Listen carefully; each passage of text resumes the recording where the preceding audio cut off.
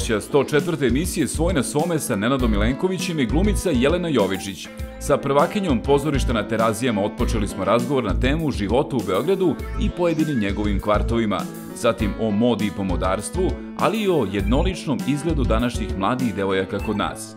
Popularna glumica prisjetila se zatim svog dolaska u pozorište na terazijama i momenta kada je tadašnjim čelnicima predložila da rade audiciju za nove glumce, kada je primljen veći deo današnjeg ansambla, a razgovarali smo i o tome koliko različitih talenata treba da posjeduje glumica ukoliko želi da bude deo ovog renomiranog Beogradskog teatra. Dočekala nas je u restoranu Zvezdara teatra gde se kaže osjeća kao svoj na svome. Zato što ja živim tu blizu. ovaj, pa volim jako ovaj, restoran. Tu sam proslavila i deci rođendane i naše godišnjice. E, taj park, šesti parkić je, je naš omiljeni, zato što nam je na putu, tu je Anđela išla u vrtić Slavuj, ovamo nam je iza duga, sada tamo ide u vrtić. A, tamo živimo, tako da je to neka raskrsnica ovaj, naših maršruta i tu se nalazimo obavezno sa decom u parkiću. Odatle posmatramo one avione kada uvežbavaju uh, onaj svoj meeting, aeromeeting i tako. Uh, ovde uživamo u mirisu sad trenutno od cveta koliko vidim kestena, ali lipe, kestena i svega ostalog. Uh, jer na otvorenom je i divno je. Drugo ima fantastičnu hranu i osoblje nas već zna. Tu dolaze fini ljudi, fin svet. Ja živim u ovom kraju od 2011. godine. S tim što e, ne živim ovde, živim na Zvezdari, ali na Mirjevu. E, I mogu vam reći da sam presrećna od kako sam se preselila. Prvo, ovaj, zato što je vazduh drugačiji. To je najzdraviji vazduh Beograda. Tu nam je blizu Zvezdarska šuma. Imamo pogled prelep. Mirjevo je jedno od najzdravijih naselja za život, to ljudi ne znaju osunčano je, stalno je okupano suncem. Nije, nema gužve, nema parkinga, nema uh, onih uh, prva, druga, treća zona. Ima svoju veliku pijacu, ovde imamo cvetkovu pijacu veliku.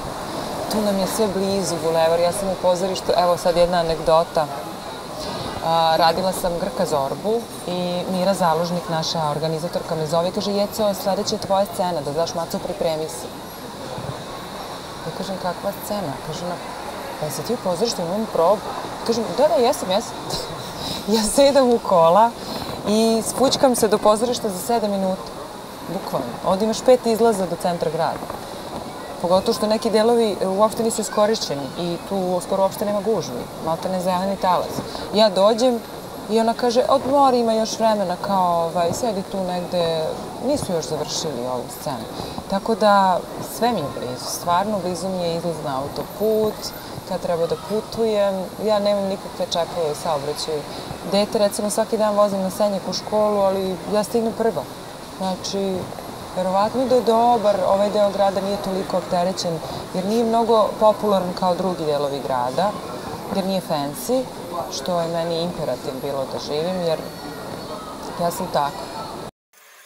Pa je, sad ne znam da kod nas bogati žive van grada, da koliko ih ima i sve, ali ne znam, nije humano živeti u centru grada, stvarno. Najljepši je rano ujutru kad nema ljudi, kad nema kola, auspuha, izduvnih gasova, tih emisija, te za tog zagađenog vazduha. Meni je to u stvari, ja ne znam kako ljudi koji žive u centru i u tim pri centru, naseljima kao što su pa i vračari, ne znam, nikako se ne boje za sebe i za svoje zdravlje. Mislim, to je nekad bilo mnogo lepo naselje, recimo taj vračar, ali više nije prosto je toliko... Da, da, stalno su u senci, gledaju jedni drugima u kuhinju. A, nema, ne može, ne, nik, nijedno cveće ne može da uspeva. Redki su, ne samo na vrhovima zgrada, ali ti koji žive, oni su povlašćeni. Sad više, nekad je bilo gore jeftinije dole, skuplje, sad obrnuto, penthouse su sad skuplji ovo dole. Tako da nema parkinga i to, ja ne mogu tako. Ja volim Volim da živim, volim da se šetam, volim da imam... Mi ispred zgrade imamo kao ona stara vremena, igralište, dva, tri za futbol, dva, tri za košarku, pešačku zonu s velikim parkom da deca voze, rolere, bicikle, mali maksi, malu pijačicu, piljaricu, sve nam je tu. Tako da deca mogu da idu napolje da se igraju. sve imamo, imamo igralište, imamo čak on dva, tri ona za boćanje igrališta i tako. Stvarno, da, da, i ima dosta starijih ljudi koji tu žive vrlo otmenog sveta, dostojanstvenih ljudi koji tu dostojanstveno stare, na svoje poslednje dane žive i onako lepo je to videti kad se svako veče okupe da igraju šah ili da se bočaju i tako. Deca to sa tim žive. Stalno se raspravljam sa mamom. Moja mama jako prati, voli modu i to nju impresionira ovaj, do te mere da je apsolutno, ja mislim, na dnevnom nivou ažurirana šta se nosi, šta je sada trendi i sve to, dok ja imam problem s tim. Moj problem je prvo što ja ne mogu svaku modu da pratim, jer eh, ja imam neki izraženi ego, verovatno, i ja ne mogu sebi da dozvolim da neka haljina bude bitnija od mene. Tako da, ovaj, ja i pravo da vam kažem, od, kako, kako sam ušla u ovaj svet pozorišni, meni je svega preko glave, tih haljina i šljokica i trepavica i kosa i šta znam, nokti. Tako da mi nemamo tu želju, mi imamo želju u stvari da ne nosimo toliko ni make-upa, ni šminke i šta znam. Trudimo se da budemo prirodni i ovaj, to je danas izgleda postalo onako, ako hoćeš da se, da se vidiš i budeš u centru pažnje, ti samo budi prirodan. Pošto su svi, već obično pre bilo drugačije, a sada je sada je to, ovaj, valjda ta prirodnost toliko postala sad jedna uh, nemoguća misija pronaći skroz prirodnu osobu, doteranu mladu, a šteta, lepa smo nacija. Ovaj. E, što se tiče mode. Sad, što se tiče mode, gledano i na nešto drugo, ja volim recimo dizajn interijera i tako, tu već pratim trendove, ali tu imam neki svoj stil i šta je znam, znam šta volim, šta mi prija i živim u skladu sa tim, prosto tako bi valjda trebalo svako, da ima neki svoj stil i da se u tome dobro osjeća, u stvari to nam je imperativ, da se mi svi dobro osjećamo. Pa to je posledica verovatno neke lične nesigurnosti, da ako si drugačiji i budeš onako kakav jesi, da ćeš doživeti i naći na neku vrstu odbijanja, neprihvaćenosti u društvu, kada su žene u pitanju strane muškaraca i obrnuto. Tako da, ovaj, ali i neko kućnog vaspitanja, verovatno nedovoljno izgrađenog stava, morala, o tome šta je lepo, šta nije lepo, tih etičkih, estetičkih mislim sad to odnosno u filozofiju, ali stvarno je to simbioza svega toga. Uh, tako da srećnici su oni koji su umereni, koji su našli meru, to je najteže u životu. To je imperativ svakom roditelju da usadi kod svog deteta ovaj, to da, da uspe da nekako u životu traga za tom pravom merom. E, svi mi težimo da budemo lepi i svaka od nas je htela da se dopadne nekom momku ili devojci, zavisi koga više volimo, ali da se dopadnemo drugima. Ali e, u svakom slučaju e, pogubilo se ono staro da, da je lepota najlepše kad je prirodna. I zato sad imate iste usta, iste noseve, iste, našminkane prešminkane devojke mlade, zato što ih šminkaju verovatno isti šminkeri ili na isti način gledate tutoriale pa hoće da budu iste, nema, nema objašnjenja. Ili ih isti hirurzi seciraju, ne znam, prepravljaju. Ja sam recimo operisala devijaciju nosa i sećam se kad sam išla na konsultaciju sa hirurgom, onda je on meni rekao, ili vi želite da promenite svoj nos? Pa sam joj rekla, ovaj, zato što mene već ljudi znaju i pošto kada operiše devijaciju on mora da polomi nos. Sad to znaju ljudi koji su to radili, ja sam bila šokirana kada to rekao, kao tako mora. I onda ja kažem, a kako posle? Kaže, onda mi tebi napravimo nos kakav ti hoćeš. Ja kažem, pa hoću kao moj, možda eventualno ako smatrate nešto malo možete da iskorigujete, nemojte da preterujete. Tako da sam ja rekla da, na primjer, ja meni karakteristična ta grbica, da mi ostave tu grbicu, nisu to ostavili, čak mislim da i veća nego pre. Ali, na ovaj, sve neke sitne te intervencije, male, dokle god je to plod zdravog razuma, to mogu da razumem da neko ima klampave uši, da se operiše, to smeta ili čak devojke koje, ne znam, su nesigurni, ne, o, atletski su građani, hoće da imaju grudi, pa ne znam, ja mogu da razumem da neko sad te silikone što stavljaju, ali da stavljaju neke nenormalnog iza, oblika to je, i veličine, to već stvarno razumem i to je po mojim nekim nazorima kada je u pitanju estetika van svake pameti. Izdavačka kuća Jugart vam predstavlja roman Eve Ras posle pet godina pauze Srbijo, ljubavi moja, u kome je, kaže, digla glas protiv diktature i diktatora. Knjigu Eve Ras, Srbijo, ljubavi moja, možete kupiti u knjižarama Lagune i Vulkana, ali i naručiti na kućnu adresu pozivom na telefon 064 1155 699. Izdavačka kuća Jugart vam predstavlja roman Nenada Milenkovića Što ne govori se svima, sa 15 izabranih priča o najznačajnijim ličnostima naše javne scene. Knjigu Nenada Milenkovića Što ne govori se svima možete kupiti u knjižarama Lagune i Vulkana, ali i naručiti na kućnu adresu pozivom na broj telefona 064 1155 699. Pa kada, ja sam bila student na trećoj godini glume kod profesora e, Vladimira Jeftovića na Fakultetu dramskih umetnosti. I dosta sam bila zrela. Ja sam bila jedna od tri najstarije osobe na klasi, nas tri devojke. Onda on meni rekao, vi ste zreli da radite. Ja sam režirao jednu predstavu i hteo bi da vi igrate tu ulogu Svetlane. To je bila moja prva, prvo angažovanje sa Ružicom Soković i Draganom Petrovićem Pelitom i Ivanom Tomićem. Igrala sam u predstavi Moja mama, Lale Pavlović je pisao tekst. Odlična predstava i proputovali smo celu bivšu maltene Jugoslaviju sa tim Bosnu, Hrvatsku, Srbiju. Bili smo stvarno svuda.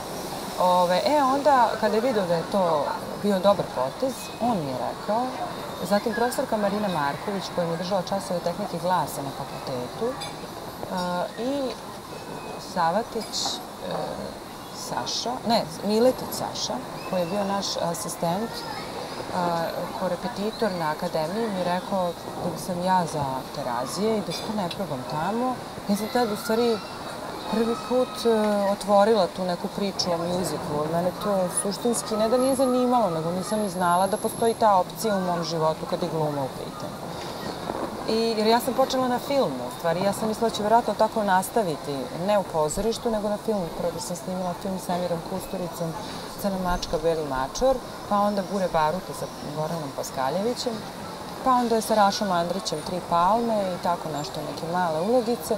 I dosta toga sam odbila na akademiji, jer kad me Boban Dedević par puta zvao, moj dobar prijatelj, koji je inače asistent ovaj, e, reditelja i pravi te castinge fenomenalno. On radi u Češku. Kad me zvao, ja sam odbila dosta filmova. I onda mi je bilo jako žao zbog toga, pa mi je vlada rekao, profesor, ja vama i zbog toga između ostalog dugujem, evo, želim da radite, idite u pozorište terazijama i probajte. Ja kažem kako? Pa lepo, pozovite, zakažete sastanak i predstavite se. Ja sam to uradila. Zakazala sam sastanak, tada je bio upravnik Miša Vukobratović, samo što je bio primljen, ja mislim, na postavljena mesto upravnika posle Buleta 2001. godine. To bila oni 2000. ja mislim, došla. Ovaj, ja sam došla, kuc kuc na vrata, jeste vi Mihajlo, jeste ja sam, ja sam Jelena Jovičić, student e, treće godine glume, sad spremam diplomski e, četvrtu godinu, ja sam, znate, ja pevam, igram, plešem, ovo vam je moj CV, a ja sam došla Odnosno ne, ja sam imala CV svoj, fotografije svoje, kontakt telefon. Sećam se i rekla sam ovaj, da me, da, ako mogu da me čuju, onda on kaže pa ne možemo mi tek tako da vas čujemo. Pa rekao, znate šta, napravite audiciju. A Miša kaže, pa mi ne pravimo audicije, stvarno nismo planirali. Pa ja kažem, pa napravite šta? Napravite, nikad ne znate, možda baš neko da, možda ne ja, neko će da vas, da vam se dopadne. I on kao, dobro, dobro, ostavite vi vaše te podatke, ja sam tu otišla i posle nedelju dana u Narodnom pozorištu sam spremala neku predstavu sa baš Vesnom Stanković za Edinburški festival i o, i sa Tanjom o, Popović. I mi radimo i Gojko, Baletić i ja sve uživamo na, tamo na petom spratu. Sećam se, to mi je jedan od najlepših perioda života kad sam bila slobodni umetnik. Kada sam išla od projekta do projekta, kad sam istraživala sebe, kad sam, baš sam bila srećna. Ovaj, I Zvoni mi telefon, kaže Jelena Jovičić, da, ovde je Milena Stojićević, operativni direktor pozorišta na terazijama, da vam kažem, mi smo vas poslušali, mi smo napravili ovde. Mi ćemo da napravimo audiciju, tad i tad dođite na audiciju, za predstavu Briljantnim spremit ćete to, to, to, to. Ja kažem hvala. Ona kaže, a gde je vrisak sa druge strane slušalice? Gde je ona? Jupi! Pa ja kažem, kad me budete primili. Šta sad? Ja još uvek nisam primljena. I ja sam se spremila, došla sam na tu audiciju.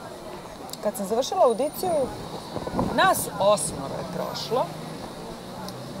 Mogu vam reći da i dan danas nas osmoro držimo repertoar posrešta na terazijama i veoma sam ponosna na to. Znači, prošlo je 17 godina. Ok, umeđu vremenu su došle još mladi glumci, mlade glumice, ali suštinski mi držimo repertoar. To, mi smo tu krucijalne figure koje su u stvari se ispostavile kao sjajna generacija i hvala mi što sam napravila ovaj, taj potez i odnosno i vladi što je rekao da idem tamo, on je inicijator celog, cele priče, jer zahvaljujući tome što sam ih ja nagovorila da napravi audiciju, sada Ivan Bosličić, Slobodan Stepanović, Miroljub Turajlija, Milana Antonić, Ivana Knežević, Jelena Jovičić, Snežana Jeremić i tu je bila Nina Pavlović koja je otišla. Mi držimo repertoar.